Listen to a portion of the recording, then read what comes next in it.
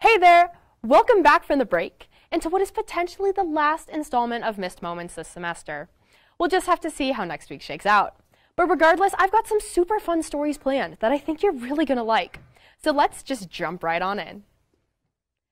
Okay, okay, I get it. The last thing any of you guys want to hear about is our struggling and frankly lost program at Canvas. But look, while CSU football may have had a bit of a disappointing season to say the least, like there always is, there were still a few highlights over the course of the fall, especially when it came to breaking records and earning honors at the individual level. To start things off, kicker Cayden Camper now holds the most field goals made in a single season in Rams history. And sure, while he got a bunch of opportunities because of a lack of red zone offense from the rest of the squad around him, it was still great to see the junior reach this milestone, especially after a shaky start to the season, which included several missed field goal attempts that honestly cost his team a game or two. With that in mind, it's easy to see that even with a handful of stars on this squad finishing out their college careers this past weekend, at least Ram fans won't have to worry about filling the kicker position for at least another year amidst all of this turnover. And now moving on to some more guys who may end up having a future outside of CSU football in the pros, punter Ryan Stonehouse reached some major marks throughout the season as well. Now, anyone who has seen Stony punt knows that he's really good. Like, really good. And not only does he boot bombs on a game by game basis, but when you look at the stats, he's actually established himself as the best NCAA punter of all time at least when it comes to his average per kick. Crazy, right?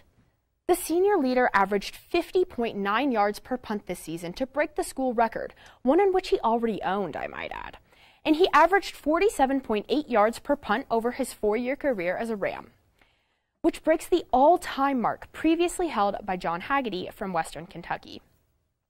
Needless to say, while CSU fans might not have a lot to look forward to in the future, at least as long as Addazio is around. At least I got to witness two of the top specialists in the nation, as well as a monster on offense in John Mackey finalist Trey McBride, in what was his final season in a CSU uniform. He'll be a high draft pick and will do great in the pros. And with all of that in mind, all of us here at CTV Sports wish these football seniors the absolute best as they start their next chapter in life in near future. And obviously, CSU fans hope that maybe a new coach is in the future as well. But moving on from the college ranks, now let's move on to some high school action.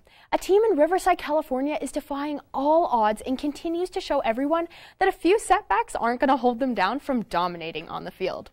And sure, an undefeated record is already impressive enough, but what if I told you that this team has done it with only 23 players? Even more impressive, right? And it doesn't stop there. Not only does this squad only have 23 athletes, but all 23 of them are deaf. Now, all of that combined makes it seem almost impossible for things to function successfully and go right. But, well, not for the Cubs.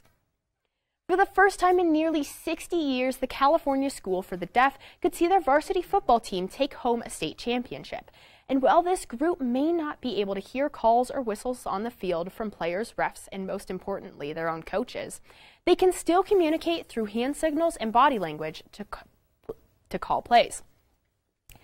Sure, the school have found a lot of success in the past, but this season not only brought these high schoolers a lot of victory and excitement, but also allowed them to stand for a major win for deaf schools everywhere due to their success.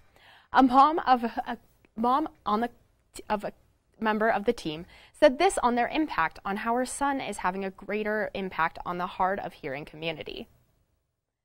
Quote, It'll be history for the deaf schools.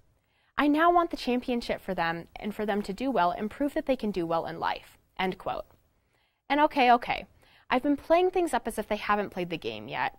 But unfortunately for the Cubs and their families, they fell just short of breaking this barrier in the title in the championship game on Saturday, falling to Faith Baptist 74 to 22. Still though, a 12 1 record is impressive for anyone much less a team that lacks what most believe is a crucial asset to football vocal communication. And while the season may not have ended how everyone would have liked in a storybook ending, this squad definitely continues to defy the odds and inspire so many across the nation, hearing or not, showing everyone that a little setback isn't an excuse. And hey, that lesson is what sports are all about, right? And on that note, Ram fans, those are all the missed moments I've got for you this week. And if this is the last one of the semester, it's been a pleasure. But don't go anywhere just yet because after the break, we'll be back for a spicy and extended edition of Hot or Not. Don't go anywhere.